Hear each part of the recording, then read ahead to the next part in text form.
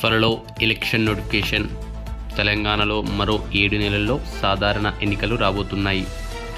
ఎన్నికలు నిర్వహించేందుకు ఎన్నికల కమిషన్ సిద్ధమయ్యింది. దీనికి సంబంధించిన నోటిఫికేషన్ మే చివరి వారంలో కానీ లేదా జూన్ మొదటి వారంలో కానీ విడుదల అయ్యే అవకాశం ఉంది. సాధారణ ఎన్నికలు డిసెంబర్ నెలాఖరులో జరగడానికి అవకాశాలు ఎక్కువగా ఉన్నాయి. ఉద్యోగులకు పిఆర్సీ లేదా ఐఆర్ తెలంగాణ రాష్ట్రం ఏర్పడ్డాక మొదటి పీఆర్సీ ముప్పై శాతం ఇచ్చినా కూడా ఉద్యోగులు సంతృప్తి పడలేదు. దీనికి గల కారణం అందరికీ తెలిసిన విషయమే. దాదాపు రెండు సంవత్సరాల బకాయిలు ఇవ్వకుండా ఉద్యోగులకు అన్యాయం చేశారు. రెండు వేల పద్దెనిమిది తర్వాత ఉద్యోగంలో చేరినటువంటి ఉద్యోగులకు కేవలం పదిహేను శాతం ఫిట్మెంట్ మాత్రమే వర్తించింది. రెండు వేల పద్దెనిమిదికి సంబంధించిన పీఆర్సీ బకాయిలు ఇప్పటికీ ఒకటి రెండు మూడు మాత్రమే ఉద్యోగుల ఖాతాలో జమ కావడం జరిగింది. ప్రభుత్వం దాదాపు పద్దెనిమిది బకాయిలు ఇస్తానని ఉత్తర్వులో పేర్కొంది.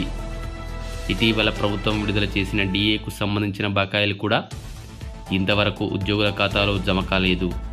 ఇలాంటి సందర్భాలలో రెండు వేల ఇరవై మూడు జూలై నెలలో వచ్చే కొత్త పిఆర్సీకి సంబంధించిన కమిషన్ ఏర్పాటు చేస్తారని నమ్మకం ఉద్యోగుల్లో లేదు. త్వరలో సాధారణ ఎన్నికలు ఉన్నందువలన కమిటీ వేయడం ఆలస్యం అవుతుందని ఉద్యోగ సంఘాలు అభిప్రాయపడుతున్నాయి.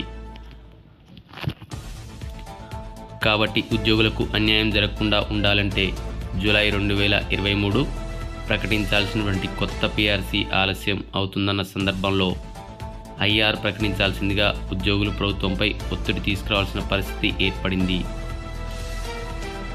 ఉద్యోగులకు కనీసం ఇరవై శాతం ఐఆర్ అనగా కరువు భత్యం ప్రకటించిన ఉద్యోగులకు కొంతవరకు మేలు కలగవచ్చు. ఇరవై శాతం ఐఆర్ ప్రకటించడంపై ప్రభుత్వం కూడా సానుకూల స్పందన ఉంటుందని అధికారులు అభిప్రాయపడుతున్నారు. కాబట్టి రాష్ట్రం మొత్తం మీదనటువంటి ఉద్యోగులు ఉపాధ్యాయులంతా కలిసికట్టుగా ఉంటేనే ఇది సాధ్యమవుతుంది.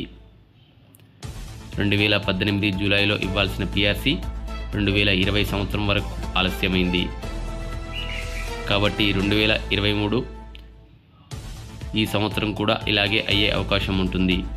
ఇప్పటికే ఉద్యోగులకు బకాయి పడిన మూడు డిఏలను విడుదల చేయడంతో పాటు ఉద్యోగులకు రెండు వేల ఇరవై మూడు జూలైలో ఐఆర్ ప్రకటిస్తే కొంతవరకు ఉద్యోగులకు న్యాయం జరగవచ్చు అని విశ్లేషకుల అభిప్రాయం.